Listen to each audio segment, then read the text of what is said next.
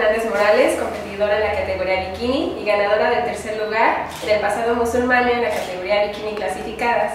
Los quiero invitar este 11 y 12 de agosto a Musulmania Prestige. No se pueden perder este gran evento, espero que no se van a arrepentir. Un beso y nos estamos viendo por allá. Gracias.